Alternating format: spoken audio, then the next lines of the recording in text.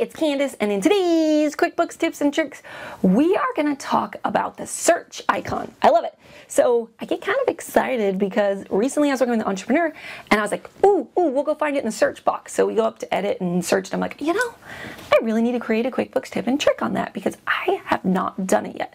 So in today's QuickBooks tips and tricks, we are going to talk about the search box. So come look over my shoulder, and I will teach you how. All right, so I realized that in the video, I technically said the search box, but we're actually going to use the find feature within QuickBooks. If you go up to edit, find, you'll see, or control F, you can go in and look things up this way. I'll, I'll explain a little bit more as we look at it. So if you click on that, you'll notice that you can look up all different kinds of details. So if you're looking for invoices by invoice number or you know a dollar amount, but you can't find something. So that's basically what this find allows you to do. It allows you to go in with the facts or the things you do know and look up different things. So you can look it up by type, transaction type. It gives you all the different types of transactions. Or you can look it up by invoice number. You can look it up by the actual customer or the date or the amount. That's what you can look up in the simple. If you go over to the advanced, you can click on any of these. It gets a lot more, you can get a lot more detail. If you go to say amount and you don't necessarily know that if it's an invoice or how you created it, you can actually go directly under advanced, click on amount, click equals. That's what I usually do. If I know it equals, say $100, and then you can click find. And any transaction you've ever done for $100 will come up, whether it's a check, whether it's a credit card, an invoice, a deposit, whatever it is for that amount. So in the video, I had mentioned that recently I'd been working with a client and she was looking for money she had deposited into the bank, but she wasn't sure which invoice it needed to be applied to. And we were going back looking at it's we're in 2016, she was going back into 2015. So she was able to type in whatever dollar amount she was looking for, hit search, and then find it. So that was the way we were using it. You can use this in all kinds of different ways. Just get in here and mess around. You can do any amount. You say under a particular class. You could do any amount. Or you can look it up by billing status. Like you can, this goes all the way down. Any transactions you've ever looked up, anything you've ever voided, and you can click find and anything you've ever voided or deleted will be in here as well. So it's actually a really cool feature just that allows you to go in and look things up that you don't know another way to find. You either know the dollar amount, you know it was an invoice, you know it's a customer.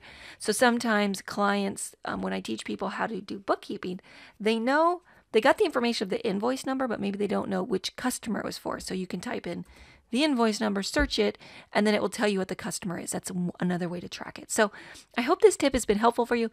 If anything, it's about just creating confidence with QuickBooks, going in and getting more familiar with it. Again, to get this feature, you go under Edit, Find, or Control F, and you will be able to do the research.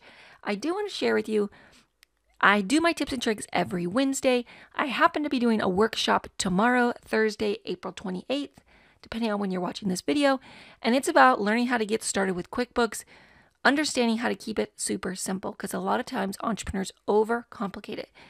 So if you are interested in that topic, look up at the top right. There's either words or I icon, and it will share with you the details of how to register.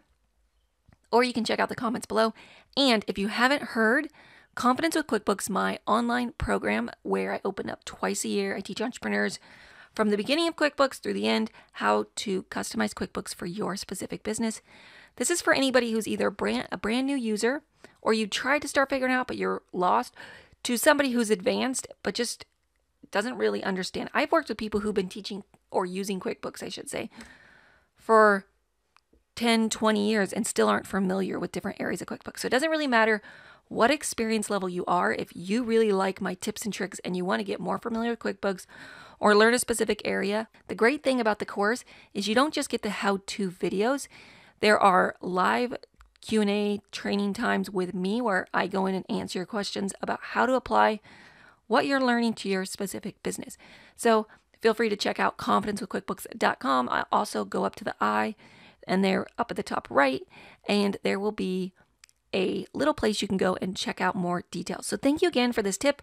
Go in, check out the find feature, use it, and I will see you guys in next week's QuickBooks tips and tricks. Have an amazing day. Bye bye.